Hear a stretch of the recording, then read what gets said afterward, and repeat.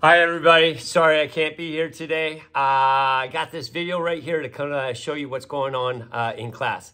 So uh, watch this video, have your notes out, take great notes, uh, treat it just like I'm right here in front of you in class. I can't deny you the most important part of class, the first 10 minutes. Remember last class, we built the foundation. We built the foundation that we're going to learn all this stuff about the beach over the next three weeks.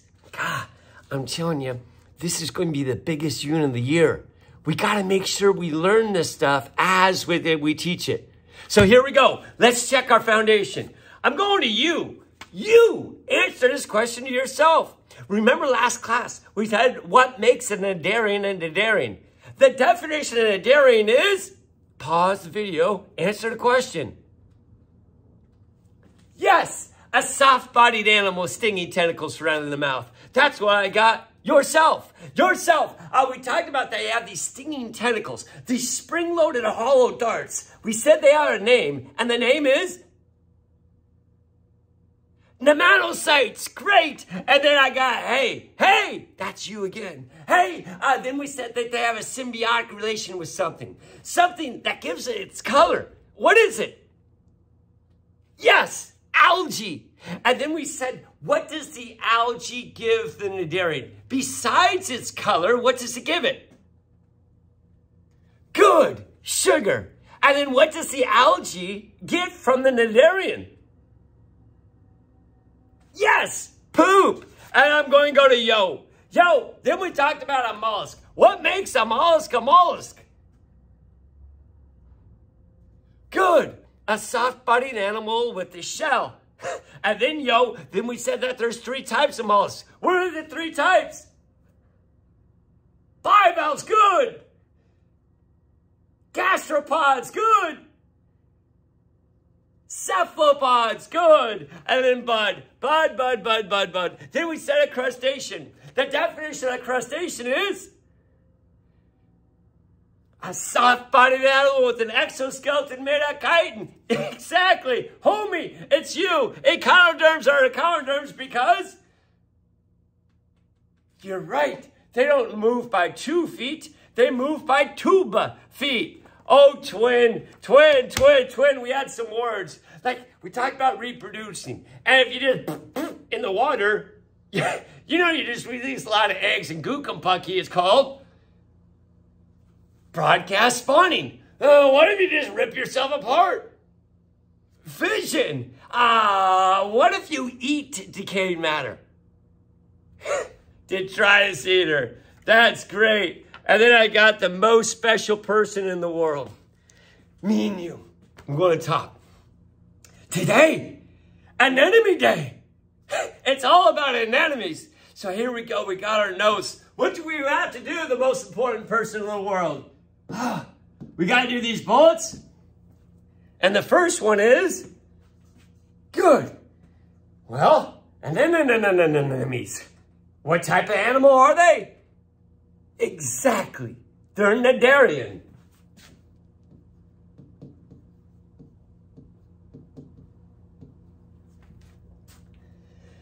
Now, most important person in the world. There's blank bullet next, right? Listen at this. How about this? Let's write it and then me explain. As adults in the polyp stage,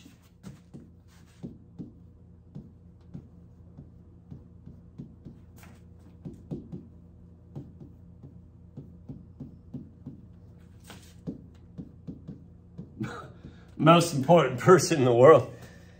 Does this make any sense? No. It's the most important person in the world. Cnidarians, they have two life stages. Uh, one where their tentacles are hanging down below their mouth, and one where the tentacles are above their mouth. Do it, most important person in the world. Uh, draw it. Uh, see, uh, there's one uh, where their tentacles are hanging below their mouth. That's called the Medusa stage. And then one where the tentacles are above their mouth. And that's called the polyp stage.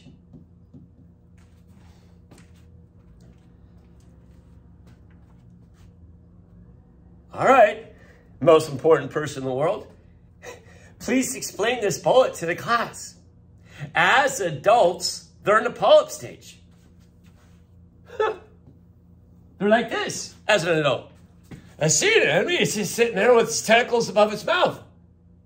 But most important per, uh, person in the world, what does that mean about a baby sea anemone? See, cnidarians have two life stages. If they're in this stage as an adult, what is the baby like? Yes, the baby is like this. A baby sea anemone is swimming around like a little jellyfish. And it's acting like a little jellyfish. And then when it finds a good place to live, it's going to flip itself over. Ugh. And now its tentacles are above its mouth in the polyp stage. Most important person in the world. What about a jellyfish? As an adult, they're in the medusa stage. But what does that mean about a baby jellyfish? Yeah, as a baby, they're in the polyp. They sit on a rock. They're acting like you see an enemy. They're stinging stuff. Uh, they're eating stuff. And then they get off the rock. They flip over. And then they're a little squishy, swimming around in the Medusa stage. Most important person in the world, you're doing great. Most important person in the world, we got two more bullets. Eat. Eat. Well, most important person in the world, I'll get one.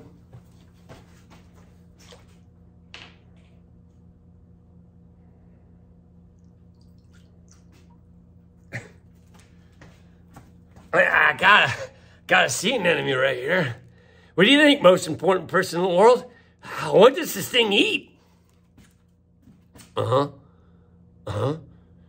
Yeah, maybe. Now, most important person in the world.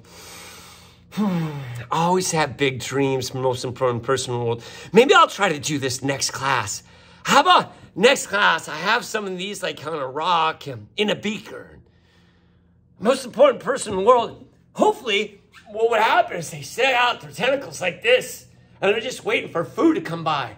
And then food comes by, it's going to stab it uh, with its nematocytes, its stinging cells.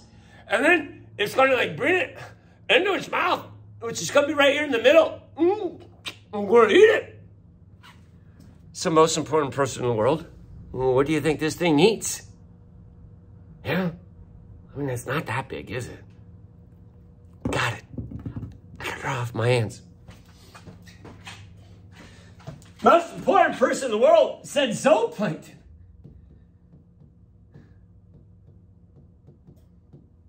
Comma.